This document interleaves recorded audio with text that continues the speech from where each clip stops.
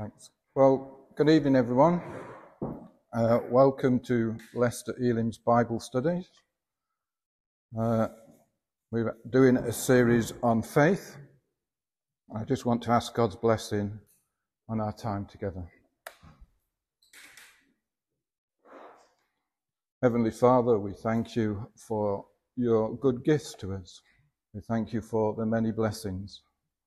We thank you for the blessing of salvation. We thank you for the blessing of your word. And we ask, O oh God, as we turn to your word and as we study faith, we pray, Lord, that our faith will grow. Lord, that you'll grant to us great faith, mountain moving faith, faith that will help us endure till the end. So we ask, O oh God, that your Holy Spirit will just bless these series of studies to everyone who listens to them.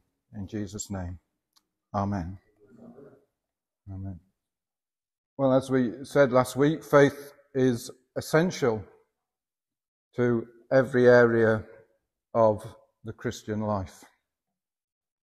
And in our first study, we looked at some basic fundamentals, looked at the importance of faith, because obviously it says that it is impossible to please God without faith. We looked at the object of our faith, which is the Lord God Almighty, the creator of heaven and earth. We looked at a definition of faith. We looked at the origin of our faith from Hebrews, where it says that Jesus is the author and finisher of our faith. And we looked at faith as a body of belief. Uh, Christians down through the centuries have had statements of faith which has helped the church uh, defend against error, because obviously we're warned in the Bible that false teachers would come, and in order to discern a false teacher from a true teacher, then we need to know the Word of God and what we believe. This evening, I want to consider, I suppose, the, the basic foundation stone, and that's saving faith. Saving faith. That is the foundation stone. It's the entrance into the Christian life. And I've got a number of headings. I've got definition, I've got paradox, which means basically something that seems contradictory, but yet is true. Saving faith, I'm going to tell you, is an act of God and not an act of man. They're going to speak about counterfeits. There is an element of faith uh, that is not true faith or genuine saving faith. And we're also going to look at the opposite marks of true saving faith. So, firstly, we're going to look at a definition. We're going to be looking at some verses from Ephesians chapter 2. Ephesians chapter 2. going to be reading, first of all, just verse 8 and 9. Well known verse. It says, For by grace are you saved through faith, and that not of yourselves, it is the gift of God. It is not of works, lest any man should boast. And someone said, in commentating on this verse, said, faith is the door to salvation. And here in this verse we read the truth of that statement that salvation is by grace and it's received through faith. There's no merit uh, or works of man are involved in our salvation, as the next verse goes on to say, it's not of works, so that no man can boast. And this verse also tells us, or these two verses also tells us, that this faith, this saving faith, is not of ourselves, but is a gift of God. The originator, the author, or the source of our faith, as we saw last week, is the, Lord Jesus Christ. And saving faith is a gift of God.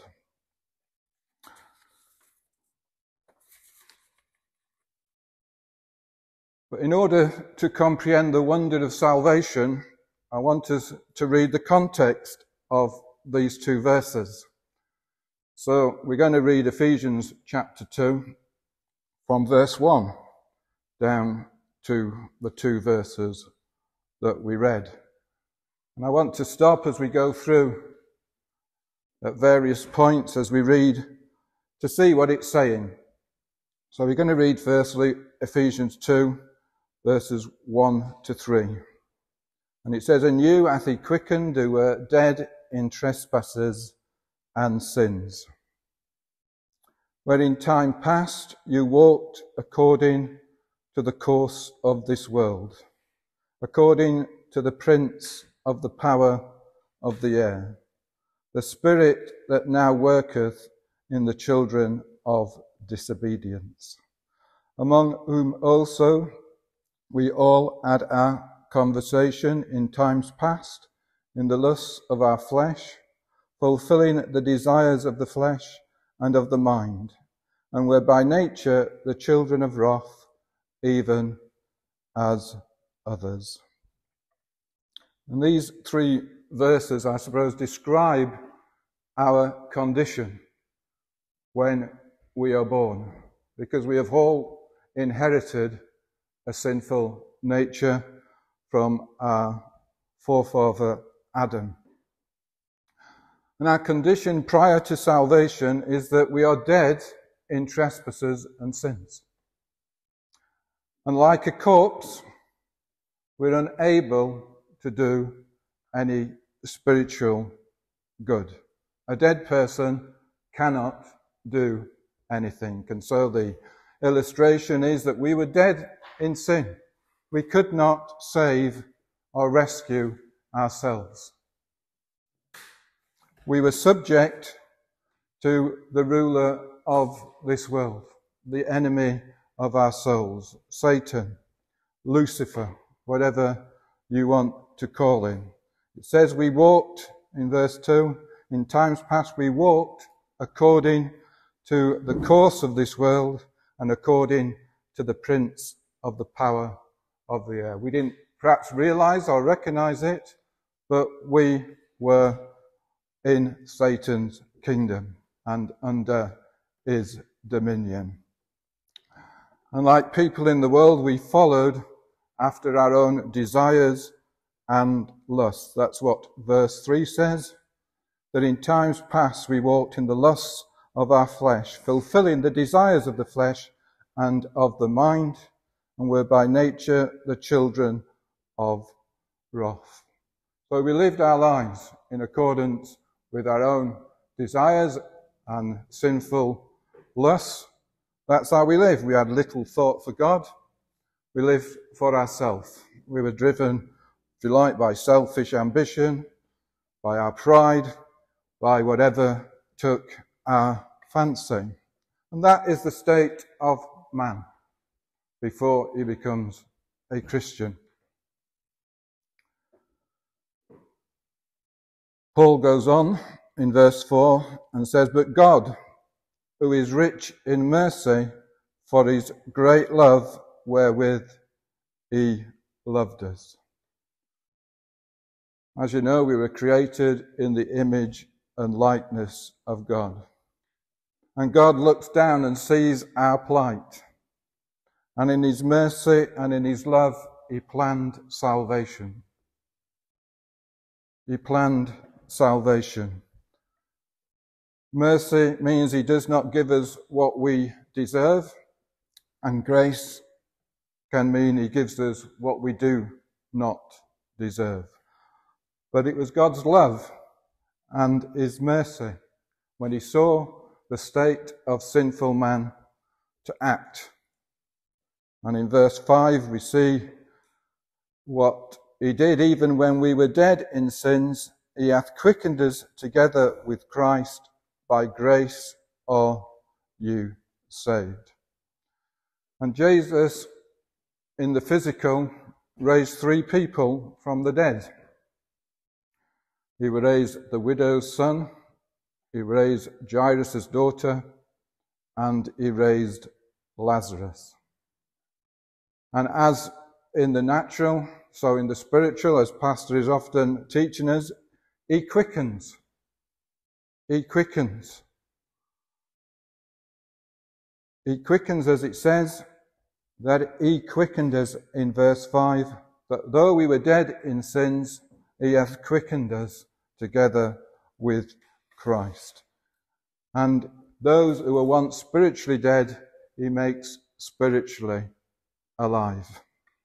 And not only that, it says in verse 6 that he's exalted us, and he hath raised us up together and made us sit together in heavenly places in Christ Jesus. We have been, once we've been saved, we have been united in Christ, and we have been raised. Our position has changed. Prior to conversion, we're under the dominion of Satan. After conversion, we've been lifted into the heavens, seated with Christ, and the spiritual forces are underneath us. Verse 7 that in the ages to come he might show the exceeding riches of his grace and his kindness towards us through Jesus Christ. Down here on earth, the glorification of believers and of saints is hidden. But in the age to come, everyone will know those who belong to Christ. And then we come to these two verses. For by grace are you saved through faith, and that not of yourself, it is the gift of God. It's not of works, lest any man should boast. Salvation is by God's grace. He initiates it. He initiates it. He is the author of our faith.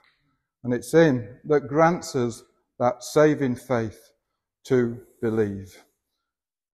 And there's no works of man involved. It is a free gift. It's not of works, so that no man can boast that his salvation is through something that he has done. So based on that, what is a definition of saving faith? Well, the one that I've come up with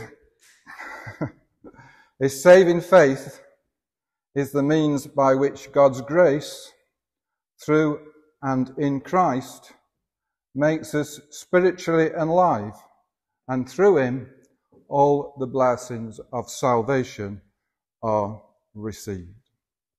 Saving faith is the means by which God's grace, through and in Christ, makes us spiritually alive, and through him, all the blessings of salvation are ours, is received. The blessings of salvation are many. You turn to Romans chapter 8, again, some familiar verses. Romans chapter 8. Going to be reading from verse 28 down to verse 31. Romans chapter 8, verse 28 verse 31. And we know that all things work together for good to them that love God, to them who are called according to his purpose. For whom he did foreknow, he also did predestinate to be conformed to the image of his Son, that he might be the firstborn among many brethren. Moreover, whom he did predestinate, them he also called, and who he called, them he also justified, and whom he justified, them he also glorified. What shall we then say to these things? If God be for us, Who can be against us? The blessings of salvation. This text is sometimes called the chain of salvation. The chain of salvation. Because of God's foreknowledge, He knows everything. God is all knowing. According to His foreknowledge, He predestined that believers would be what? Conformed to the image of His Son. We would be made like Christ. That is God's ultimate purpose, that we would be like Christ. So we're predestined to be conformed to the image of His Son. And those are called, they hear the gospel and respond to the gospel. They are justified. They are right before God.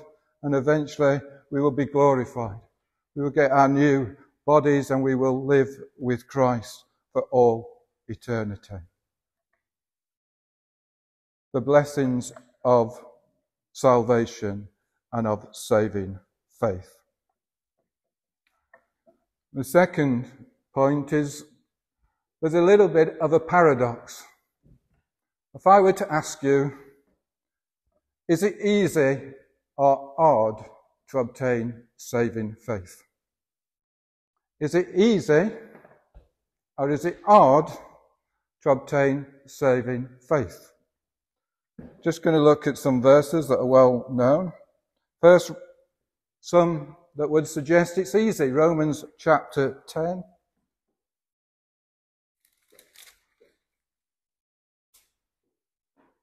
Going to read verse 9 down to 13. That if thou shalt confess with thy mouth the Lord Jesus and shalt believe in thine heart that God hath raised him from the dead, thou shalt be saved. For with the heart man believeth unto righteousness, and with the mouth confession is made unto salvation. For the scripture saith, Whosoever believeth on him shall not be ashamed. For there is no difference between the Jew and the Greek, for the same Lord over all is rich unto all that call upon him. For whosoever shall call upon the name of the Lord shall be saved. Or Acts 16,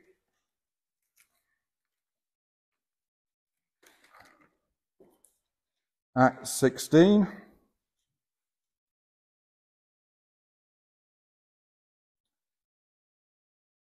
Verse 29. This is about the Philippian jailer. Acts 16, verse 29 to 31 says, Then he called for a light and sprang in and came trembling and fell down before Paul and Silas and brought them out and said, Sirs, what must I do to be saved? And they said, Believe on the Lord Jesus Christ, and thou shalt be saved, and thy house. Easy as ABC. Accept that you're a sinner and need salvation. Believe on the Lord Jesus Christ and confess with your mouth that decision that you have made. These verses would seem to suggest that salvation is easy. We're now going to turn to Luke chapter 13.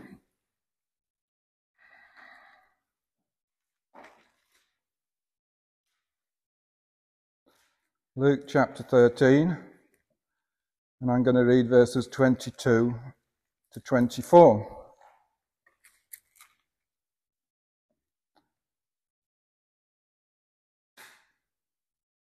And he says, And he went through the cities and villages, this is Jesus teaching and journeying towards Jerusalem. Then said one unto him, Lord, are there few that will be saved? And he said to them, Strive to enter in at the strait gate. For many, I say unto you, will seek to enter and shall not be able. Or Matthew chapter 19.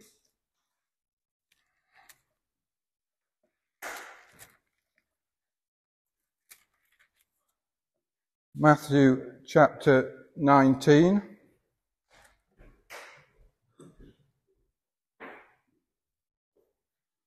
Just going to read verses 23 to 25.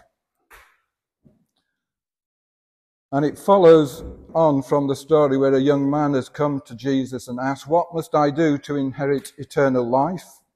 And he says basically, Keep the commandments. And the man says, I've done that. What else do I lack? And he says, Give all that you have to the poor and come and follow me. And when the young man heard that, he was very sorrowful, for he was a wealthy young man. Then said Jesus unto his disciples, Verily I say unto you, that a rich man shall hardly enter into the kingdom of heaven.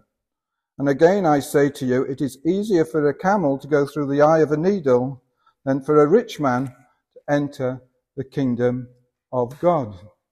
When his disciples heard it, they were exceedingly amazed, saying, Who then can be saved?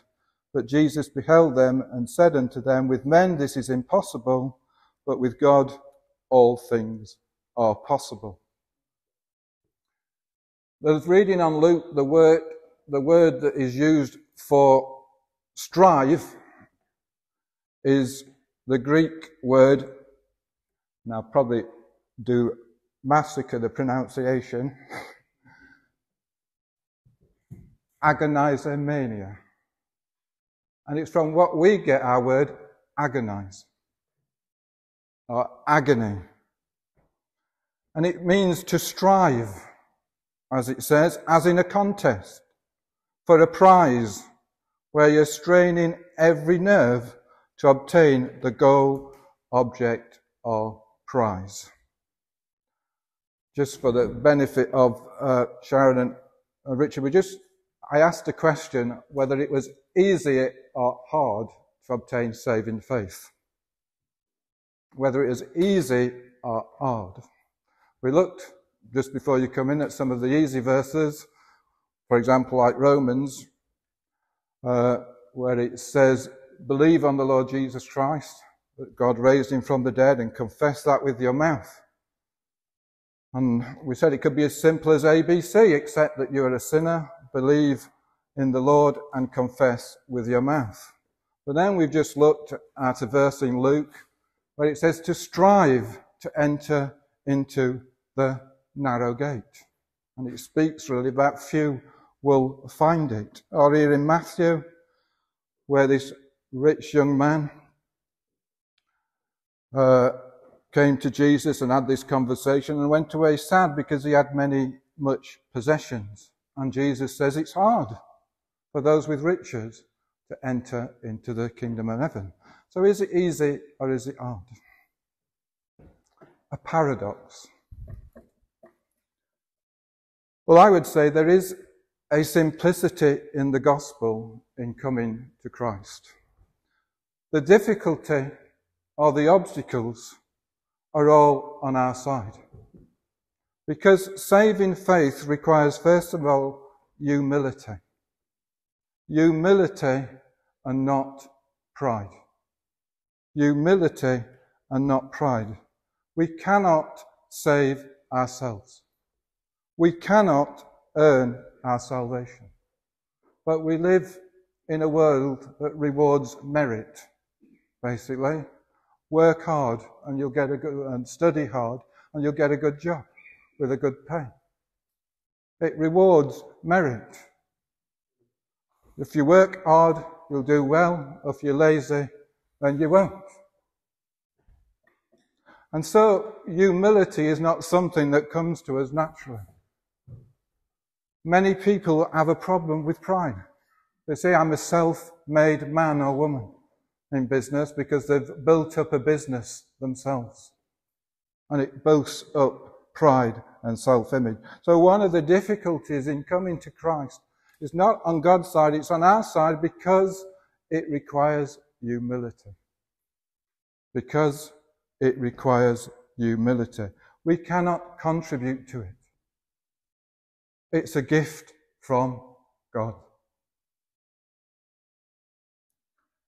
Secondly, there's no other way. To the world, that is uh, an anathema. They believe all roads lead to God. But the Bible says that there is only one way to God. There is only one mediator between God and man. Jesus said, I am the way, the truth, and the life, and you cannot come to the Father except through me. And all religions are not the same. They don't lead to God, not to the true God. But all religions, in some sense, are exclusive. In fact, all belief systems are exclusive because if you believe one thing, that means you don't believe. If I was a Muslim, then I wouldn't agree with Christianity. Or if I was an Hindu, then I wouldn't believe the same things about Christ that Christianity does. And if I was an atheist, then I wouldn't believe in God at all. So it, it, it, all belief systems are to some extent exclusive. They've got to be. Because if you believe one thing, it means you don't agree with something else. And Christianity says there is only one way to heaven. And that is through the cross. We've got to go to the cross for our salvation. So that's another stumbling block. A third stumbling block is when people understand the true cost of becoming a Christian. That we have to forsake everything else. Luke 14. In Luke 14, we get some words of Jesus regarding discipleship and following him. Luke 14, verse 25 to 27.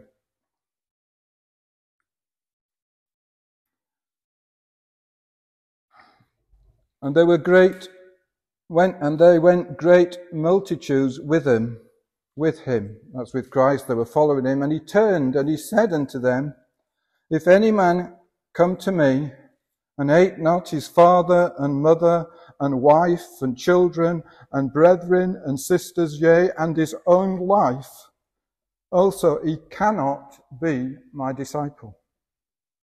And whosoever doth not bear his cross and come after me cannot be my disciple. One of the sayings I used to tell at the church where I used to be it costs you nothing to become a Christian, but it would cost you everything being a Christian. Because God could demand your life. And when people realize the true price, they're not, some are not prepared to pay it and turn back when the difficulties come, they turn back. So, is saving faith easy or hard? As I said, there is a simplicity in the gospel in that you come to Christ and you come to the cross. But the difficulty is our pride gets in our way. We think we can get there some other way, and we're not always. Are we prepared to pay the cost.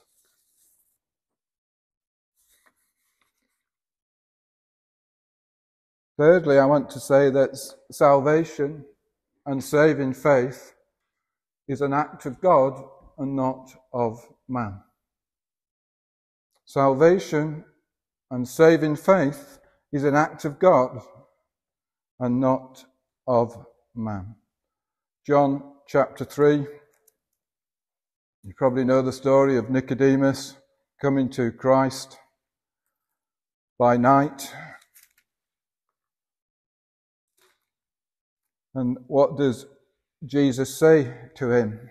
He says in John 3 and verse 5 that except a man be born of water and of the Spirit, he cannot enter the kingdom of God. And we have the expression, don't we, that we must be born again. We must be born again. And it comes obviously from this encounter between Jesus and Nicodemus. We must be born again. We must be born of the Spirit. And I said, Pastor says, as in the natural, so in the spiritual. I didn't really have much say in my birth. In fact, I didn't have any. I just arrived.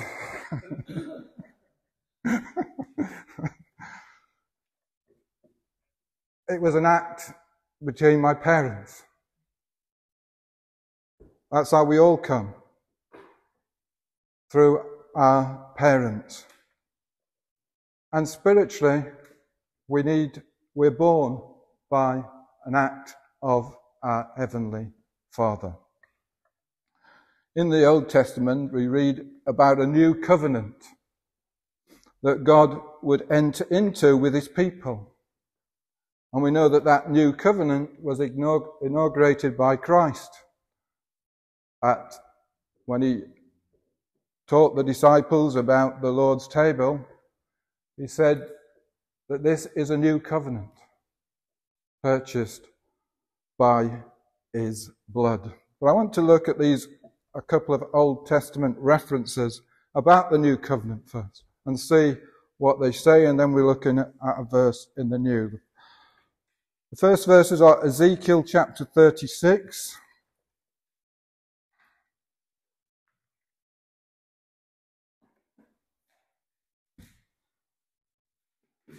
Ezekiel chapter 36. I'm going to read verses 25 to 27. Ezekiel 36, 25 to 27. This is God speaking. Then will I sprinkle clean water upon you, and you shall be clean. From all your filthiness and from all your idols will I cleanse you. A new heart also will I give you, and a new spirit will I put within you. And I will take away the stony heart out of your flesh, and I will give you a heart of flesh and I will put my spirit within you and cause you to walk in my statutes, and you shall keep my judgments and do them. And if you want to keep your finger in there and turn back to the book before it, the prophet Jeremiah, it's the book just before Ezekiel, chapter 31.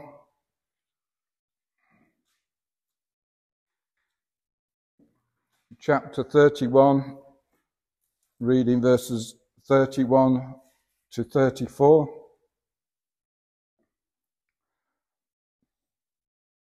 Behold, the days are coming, says the Lord, that I will make a new covenant with the house of Israel and with the house of Judah, not according to the covenant that I made with their fathers in the day that I took them by the hand to bring them out of the land of Egypt, which my covenant they broke although I was a husband unto them, saith the Lord. But this shall be the covenant that I will make with the house of Israel. After those days, says the Lord, I will put my law in their inward parts and write it on their hearts, and will be their God, and they shall be my people.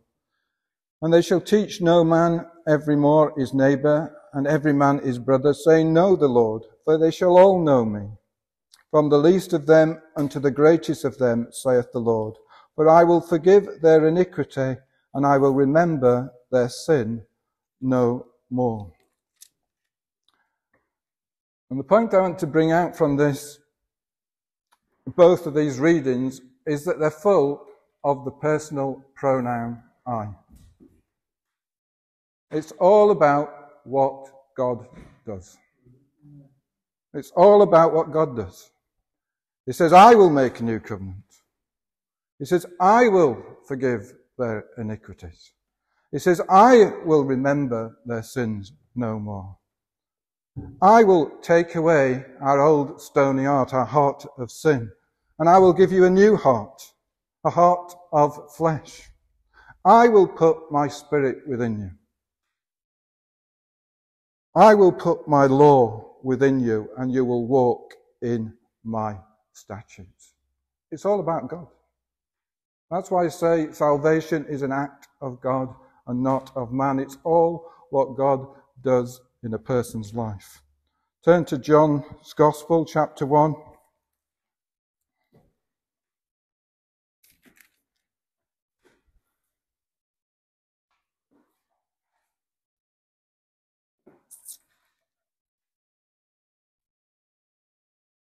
John chapter 1.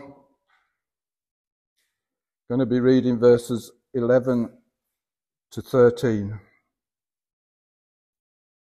He came unto his own, and his own received him not. This is Jesus. But as many as received him, to them he gave he power to become the sons of God, even to them that believe on his name, which were born not of blood, nor of the will of flesh, nor of the will of man, but of God. And it's that verse 13 in particular which I think brings out this fact that it's something that God does.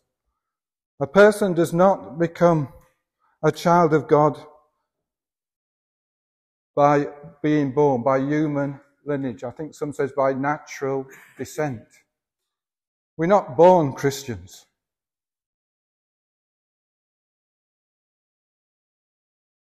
It's not of blood. It's not that we're born Christians. We're born sinners. It's not of the will of the flesh. You don't become a Christian through man's traditions. They didn't become Christians through circumcision. You don't become a Christian by being christened. You don't become a Christian even by being baptized in water. That's just an outward sign of something that's happened inside. None of those things make you a Christian. You can't become a Christian by the traditions of men. Then it says, nor of the will of man. A human decision. But it's by God's act alone. Salvation is something, a supernatural act that God does in the life of a believer. Now you might want to debate this point a bit later. I'm not a fan of the sinner's prayer. My counsel would be to use it cautiously. You see, because I think if the sinner's prayer is used without wisdom and understanding, it makes salvation man's decision.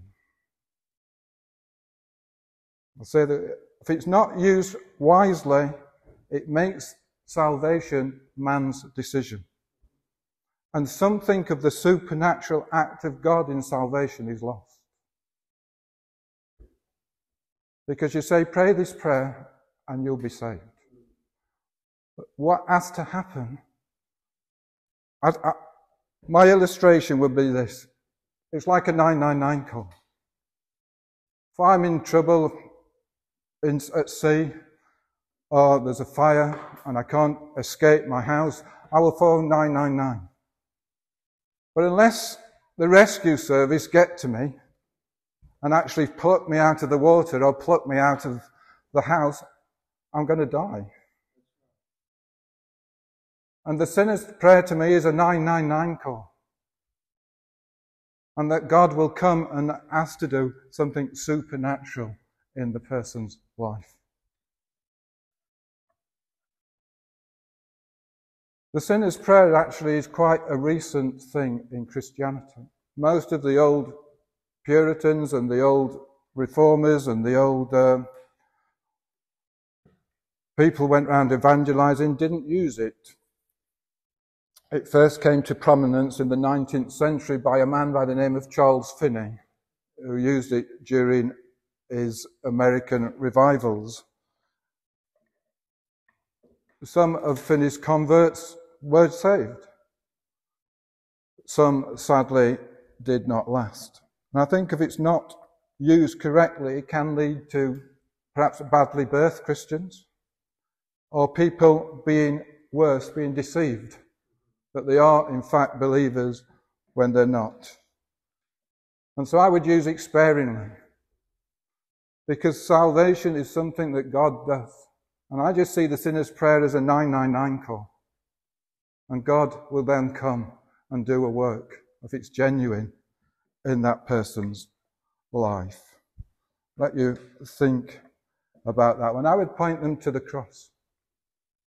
I would point to them to say, use your own words, confess your sins. You know what sins you have done better than I do. You confess your sins to Christ at the cross. And Christ will respond and do that new thing in their life. Salvation is a supernatural act of God. It's a miracle. It's the greatest miracle. So, building on from that, I want to speak about counterfeits of saving faith. Counterfeits of saving faith. You see, the enemy of our souls wants to keep people in bondage. And he will try and self delude people into thinking that they're saved when they're not saved. Because if he can do that, then he's won three quarters of the battle.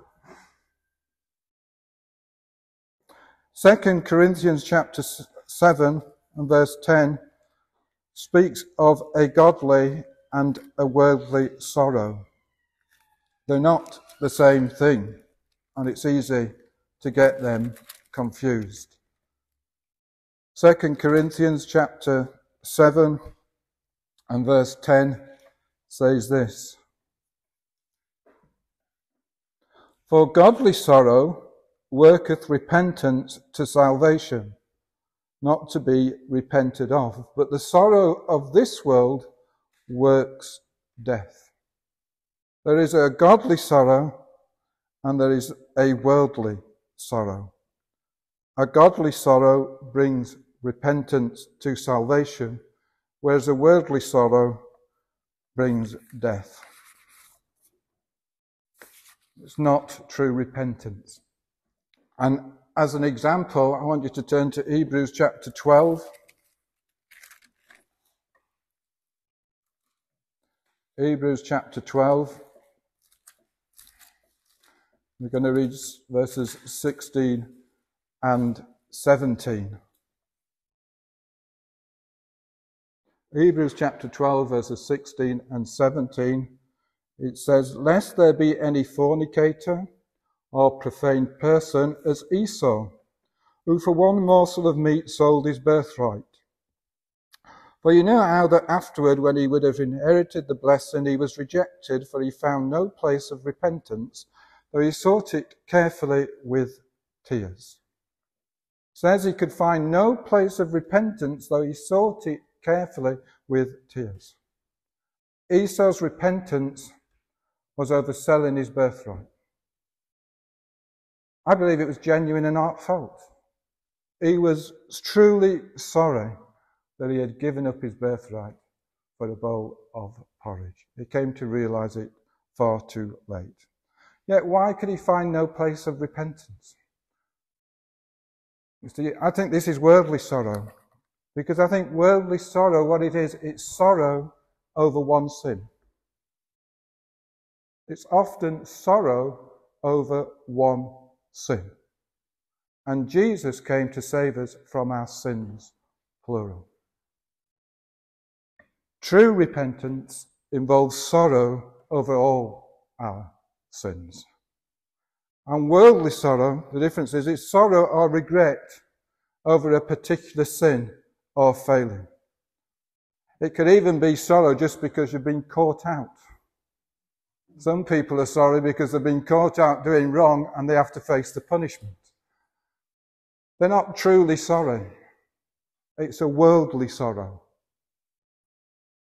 They're sorry because they've been found out and have to face the consequences. And as I said, some people, they are truly sorrowful over something perhaps that they've done, perhaps some big sin in their life. And they think they've come to repentance and salvation. But the problem is there's other sins in their life that they've never repented over. True repentance involves sorrow over all our sins. We're all sinners, and we all sin in many different ways. And I am guilty of more than one sin. I won't tell you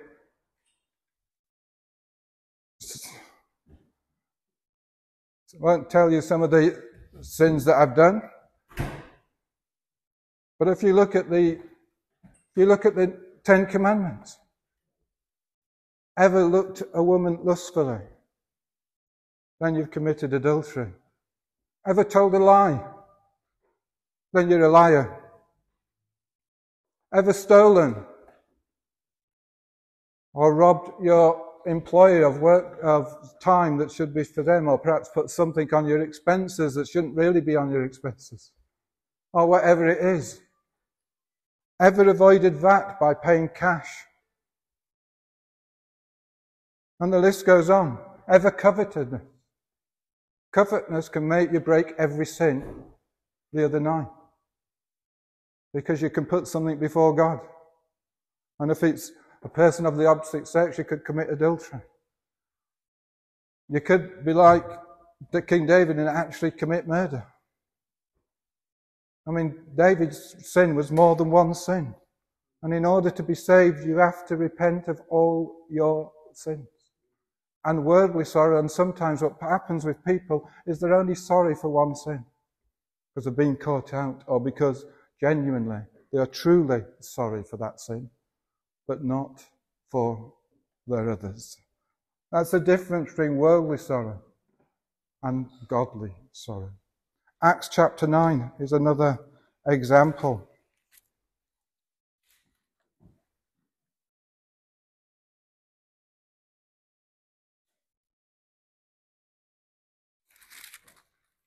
Acts chapter 9. Sorry, Acts chapter 8. Beginning to read at verse 9. Acts chapter 8, beginning to read at verse 9. But there was a certain man called Simon, which before time in the same city used sorcery, and bewitched the people of Samaria, giving out that himself was some great one, to whom they all gave heed from the least to the greatest, saying, This man is the great power of God. And to him they had regard, because that for a long time he had bewitched them with sorceries.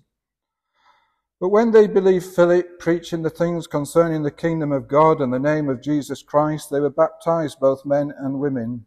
Then Simon himself believed also, and when he was baptized, he continued with Philip and wondered, beholding the miracles and signs which were done.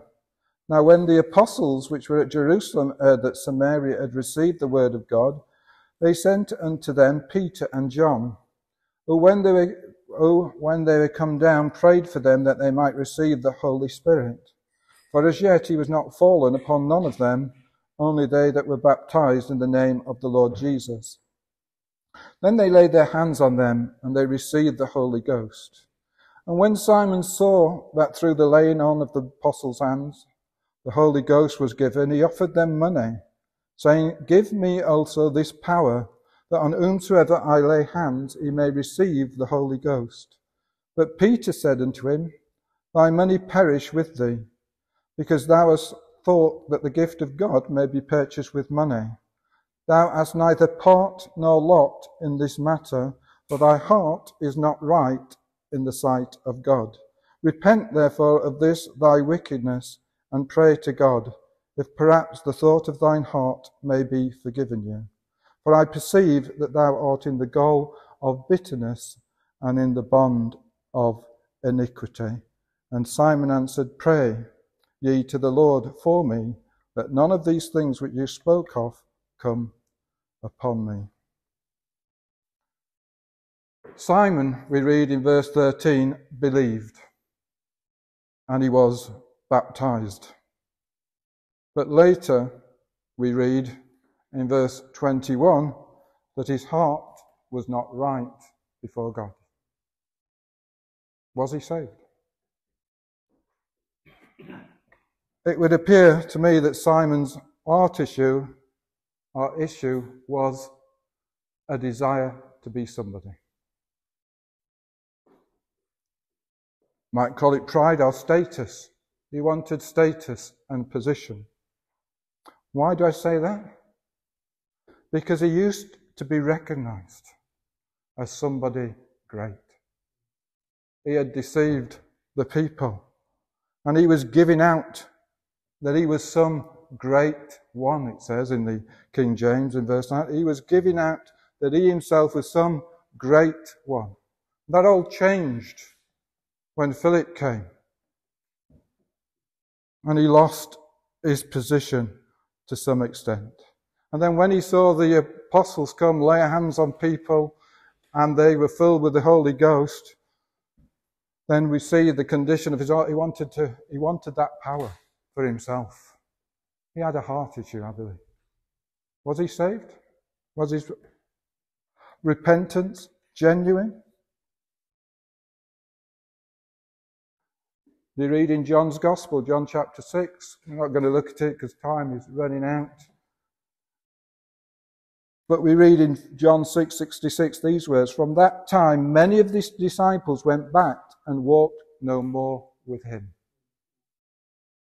You see, if you read through that chapter, Jesus had just fed the 5,000 and he was teaching and he was saying, You've got to eat of my bread and drink, uh, eat of my flesh and drink of my blood. And then this put people off. And it says, it says, from that time, many of his disciples went back and walked no more with him. And the thing is, you see, in many gospel services and appeals, emotions can run quite high. And people respond for different reasons. Some might respond because they want to belong to the family. They want to be a part of something. They want to belong. Perhaps their life has been a lonely life. Perhaps because of um, mental health issues that, you know, they've found acceptance. People don't accept them.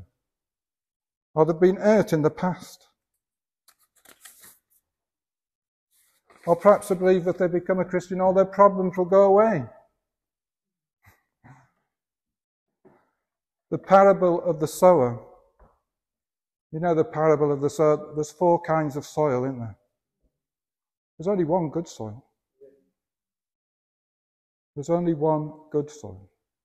There's three bad soils. And sometimes, friends, we need wisdom and discernment to discern true and false saving faith. And we need to examine our own hearts. And my last section is what are then the marks of true saving faith? We've looked at counterfeits, perhaps people only repenting over one sin, perhaps people's uh, desire in Simon's case was to be a somebody. Perhaps people get offended by the teaching that they did in John chapter 6. But the marks of true saving faith, John the Baptist said this in Matthew 3, verse 8 bring, bring forth, therefore, fruits meet for repentance. You see, if a person is truly saved and turned away from their sins and brought into a relationship with God that's been restored, then we should see some evidence of that fact. There need to be, and we need to look in our own hearts for evidence of true repentance. John 13. What are some of these evidences? John 13.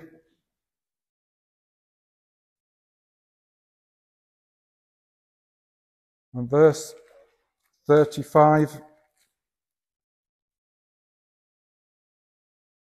says this By this shall all men know that you are my disciples, you have, you have love one for another. And I would suggest the first mark, if you like, because God is love, that we would have a love for one another and for our brethren.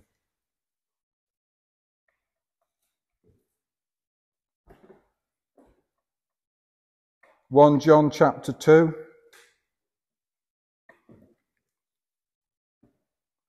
First Epistle of John, chapter 2, verse 3 to 5. Says this, and hereby we do know that we know him if we keep his commandments. He that saith, I know him, and keepeth not his commandments, is a liar, and the truth is not in him. But whoso keepeth his word in him, verily is the love of God perfected. Hereby know that we are in him. And Jesus said, said, If you love me, you will keep my commandments. And the second mark of true grace is a desire to live a pure lifestyle, a holy lifestyle. God is holy. And without holiness, it is impossible to see Him. And not that we don't ever sin when we become a Christian, but our desire is to be like Jesus and to walk in holiness. And we will obviously sometimes fail. But the thing is, when we fail, do we seek to put it right and be reconciled in our relationship? Does it upset us? Do we have a, desire to live a godly life? I've seen many people who have said they're Christians and believed them to be Christians, believe their testimony. But I've seen a number fall away because they've not lived a pure life. Their relationships have not been pure. They've got involved perhaps with an unsaved person, young and old. And when they've been challenged, then they've not repented, but they've made excuses. The mark of a true Christian who's been saved is that they want to please God and walk in accordance with His will.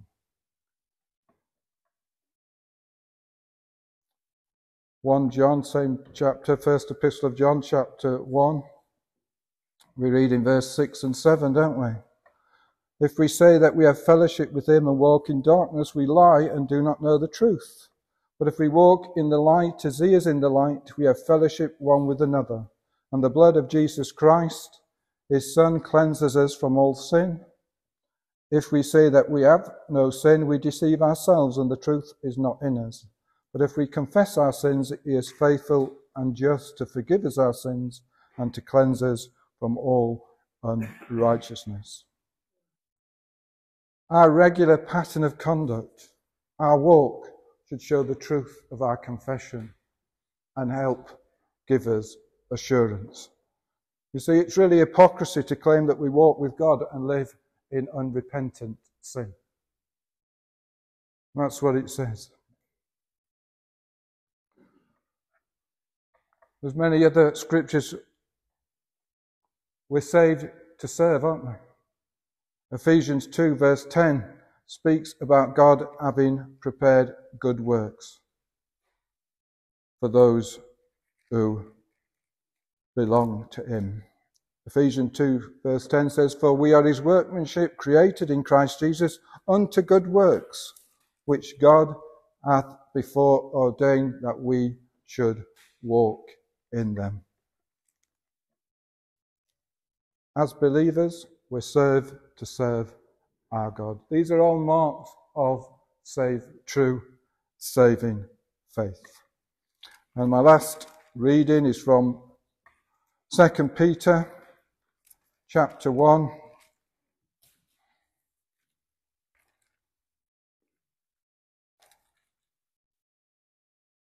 Second Peter chapter 1,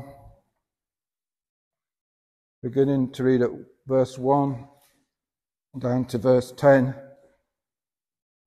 Simon Peter, a servant and apostle of Jesus Christ, to them that have obtained like precious faith with us through righteousness of God and our Saviour Jesus Christ, grace and peace be multiplied unto you through the knowledge of God and Jesus our Lord according as his divine power hath given unto us all things that pertain unto life and godliness, through the knowledge of him that hath called us to glory and virtue, whereby are given unto us exceeding great and precious promises, that by these you might be partakers of the divine nature, having escaped the corruption that is in the world through lust. And besides this, giving all diligence, add to your faith virtue, and to virtue knowledge, and to knowledge temperance, and to temperance patience, and to patience godliness, and to godliness brotherly kindness, and to brotherly kindness charity. For if these things be in you and abound, they make you that ye shall neither be barren nor unfruitful in the knowledge of our Lord Jesus Christ. But he that lacketh these things is blind and cannot see afar off, and hath forgotten that he was purged from his old sins. Wherefore, the rather, brethren, give diligence to make your calling and election sure. But if you do these things, you shall never fall. Our faith is precious. Saving faith is precious. And God has given us all things. It says all things that pertain to life and godliness. And He calls us to diligently seek adding these virtues to our life. And if we do that, it says we will be fruitful and sure of our salvation. Because that's the greatest thing to know that you are saved. Assurance, to know that you are saved. As we saw last week, John wrote his gospel and his epistle that you might know that you know Jesus Christ and have eternal life. Thank you for listening. I don't know if anyone's got any questions, but as last week, you can ask a question as long as I know the answer.